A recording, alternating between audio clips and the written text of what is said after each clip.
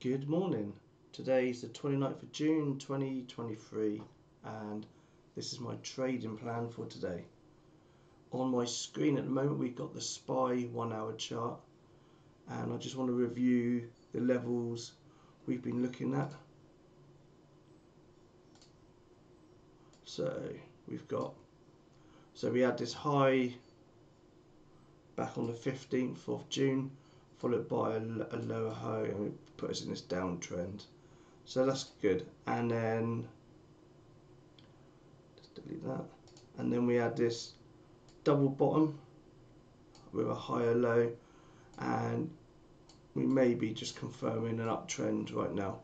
So so with that in mind, I'm gonna have a don't really want to have a bias, you know, I want to trade the chart, not my emotions. But I think um, I really need to be thinking that that we're going to be in a strong uptrend bias, taking the last pattern into account. Um, we've cleared this neckline. If you look, if you look at this, in fact, it's quite. We are looking at a. Zoom out a little tiny bit.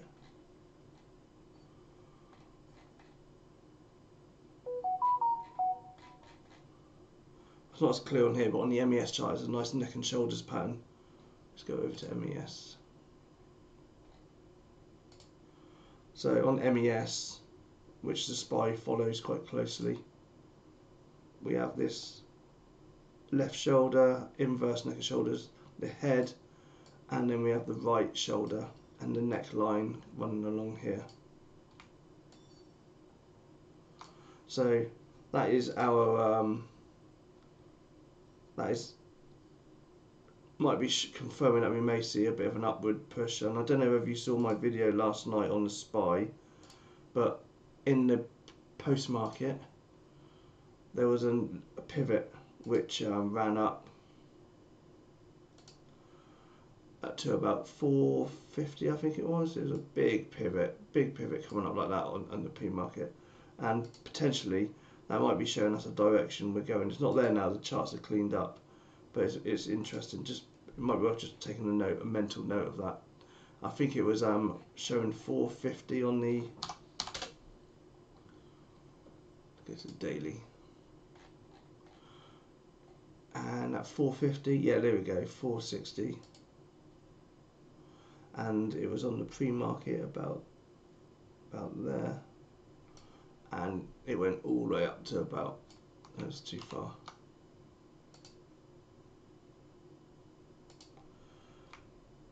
It was all the way up to about here I think the pivot was.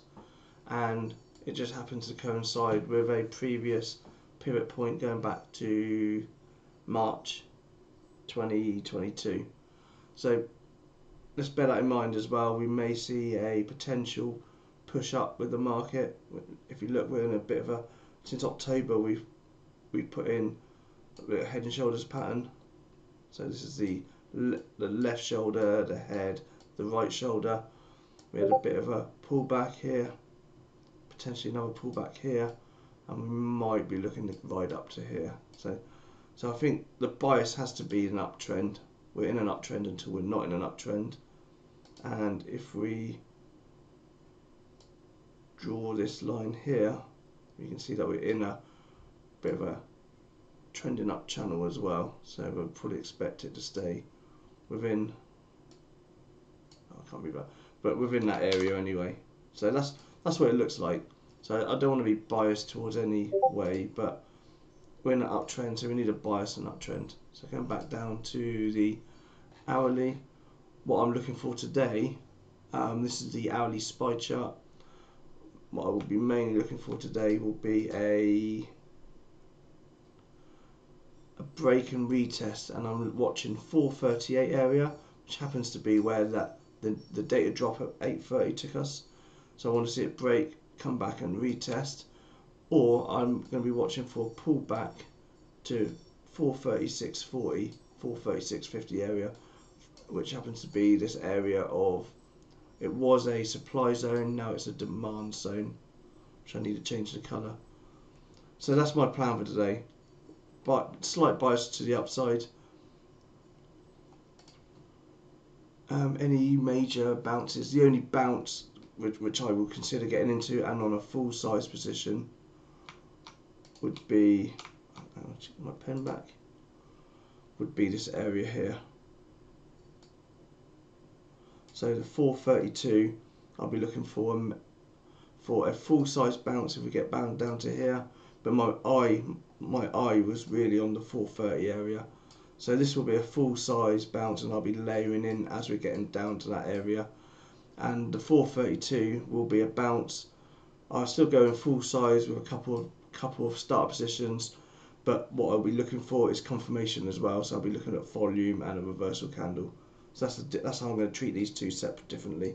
So the 430 is a major daily area, so that I'm going to layer in probably from about 431 to 430, and my zone takes us a little bit below 430. No, it takes us up exactly up to 430 and 03. So that would be my primary goal watching this area here. Oh, look at that big red candle. Maybe we're seeing a bit of a sell-off. So that's the SPY. So just confirm my levels again. Major bounce at 430. Major bounce with confirmation at 432. I would consider a scalp bounce at 434.50 and we've got the um, 50 moving average running up as well so that, and we've got this area we couldn't break down through yesterday and obviously we've got these areas of um, support in the known in the known zone of um, demand as well so if we see the market pull down then I'll be watching for a scalp bounce and this will be half a size position too much drawing half a size position just getting in probably I will be targeting this area 434, 56 and then another half a size another small start position coming out of the zone but I'll be looking for an add going back up. So every pullback. So that's my that's my goal for today and SPY going to the ES or the MES similar to SPY.